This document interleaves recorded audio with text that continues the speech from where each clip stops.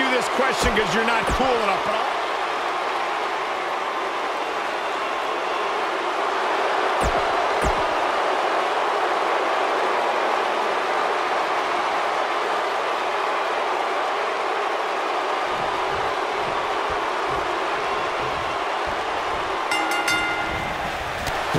is looking to further his unmatched legacy of the only man to hold championships in the NCAA, WWE, IWGP in Japan, and the UFC. Here we go, fellas. I've been looking forward to this one for quite some time. Bam! What a slam!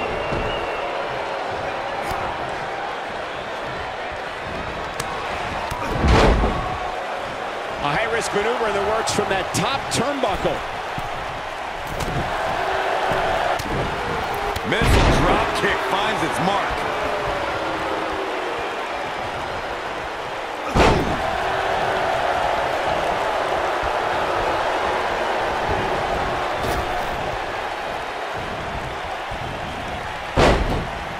In matches like this, guys, you learn very quickly which superstars have what it takes to truly get extreme. Big suplex.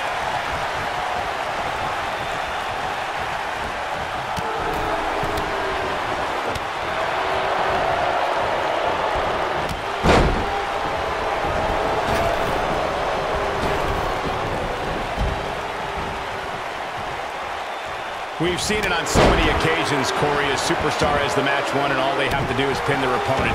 Or a submission is locked in, and the person is fractions of a second away from tapping out, and that's when it hits.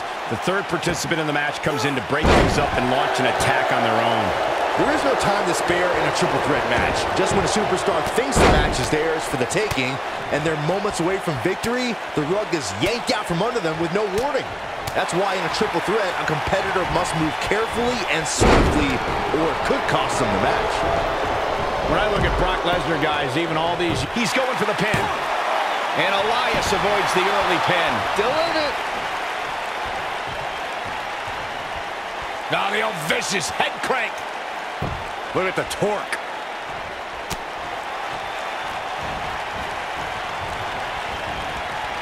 Set him up. Crews appearing uneasy here. He came into this match oh, expecting a fight, and that's exactly what he's getting. Lesnar did indeed end the Dead Man's WrestleMania undefeated streak, as Michael was saying. It was perhaps the most shocking event in WrestleMania history. Over 75,000 fans in attendance, all shocked in silence. Well, get over it, Saxton, because all good things must come to an end eventually, and Brock Lesnar is an expert at making things end. Elias reverses it. Guys, can we take a second?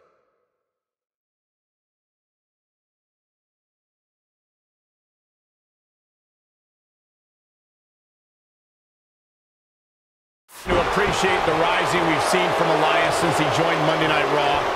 Pretty good at NXT, but within months he's been earning main event matches and beating some of WWE's top veterans. Oh boy, he is rolling. Ooh, the reversal by Apollo Crews. He doesn't want to do this outside the ring. Set him up. Michael excitedly pointed out Elias's resume, and I actually agree. He earned a spot in the Elimination Chamber, lasted almost a half hour in the Royal Rumble, and even competed in Mixed Match Challenge. Yeah, the guy also earned victories over the likes of Dean Ambrose, Finn Balor, Bobby Roode, even John Cena. So as much as his music stinks, he's doing something right in the ring. Look out!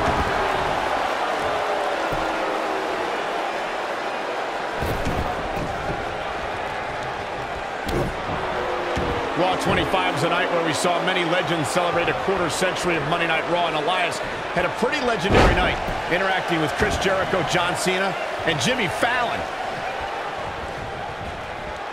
Boom, what impact! You gotta believe this one's over. Clothesline!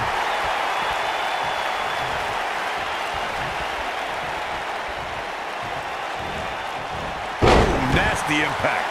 Michael mentioned Elias at Raw 25, And here's a cover. Apollo unleashing an all-out assault. You're not going to win any matches that easily. Yeah, this early, no chance.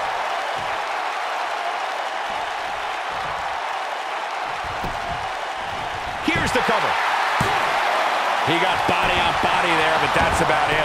Not yet. Oh boy, he is rolling.